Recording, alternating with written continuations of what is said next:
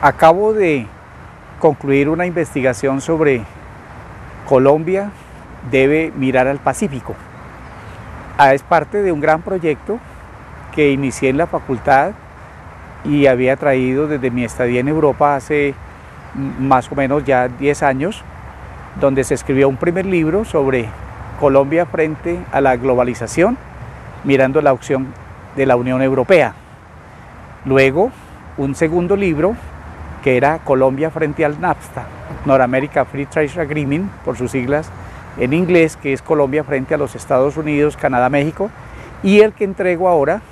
es Colombia frente a escenarios del Pacífico, que básicamente tiene que ver con Colombia frente a economías emergentes. Definitivamente el trabajo recorre eh, los procesos que ha tenido Colombia desde el punto de vista de las relaciones internacionales, pero más bien las relaciones económicas, una gran dependencia durante todo el siglo pasado de los Estados Unidos, como que el 40-50% de nuestras exportaciones, todas con ese destino a ese país. La segunda economía era Venezuela-Ecuador. Después, cuando la crisis y la emergencia, por supuesto, de la Unión Europea, el segundo socio comercial fue Europa. Los procesos que concluyeron con la Guerra Fría y, por supuesto, después de la Segunda Guerra Mundial, dan fuerza a unos bloques emergentes que definitivamente tienen que ver con el Pacífico, es decir, la insurgencia de la China, de la India, de Brasil y por supuesto de Rusia, lo que se han llamado las BRIC o las economías emergentes. Colombia no se puede casar con la mirada solamente a Estados Unidos y Europa. Definitivamente en la gran crisis de 2008, la llamada crisis inmobiliaria, los mercados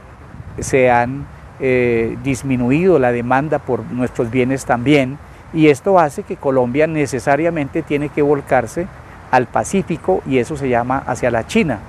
En este momento todos los analistas ven como que es la nación de este siglo,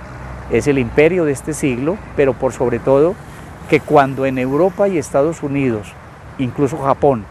la recesión los ha golpeado,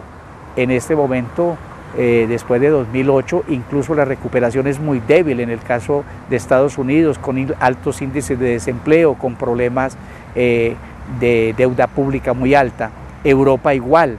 con una integración que se ha puesto en duda,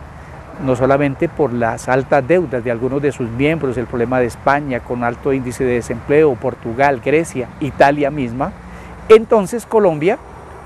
por necesidad, tiene que cambiar el libreto y pensar en un portafolio donde la China, economía emergente que en los últimos 30 años crece a tasas promedio del 10% su PIB, la India, en este caso en la región, bueno, Rusia y en la región Brasil, exigen cambiar la mirada a estos países. Eso significa prepararnos para competir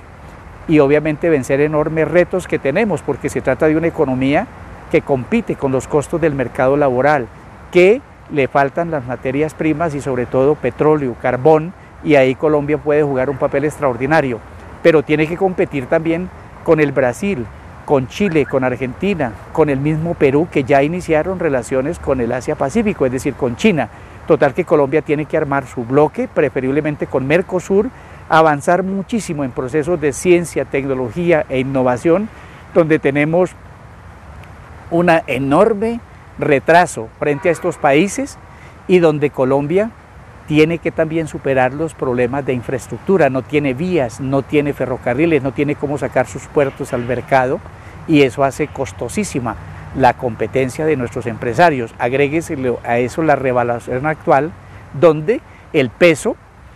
eh, se revalúa frente al dólar y a las monedas duras y obviamente hace muy difícil que nuestros exportadores eh, puedan competir en los escenarios internacionales. Y un fenómeno final que trato en el libro también, pero no menos importante, el de la corrupción, que se lleva muchísimos recursos importantes que bien podrían colocarse en áreas estratégicas del país como educación, vivienda, salud y por supuesto mejorar los índices de distribución de la riqueza. Todos estos temas se recorren en el libro que se llama Colombia o en la investigación Colombia frente a los escenarios del Pacífico que estoy entregando a la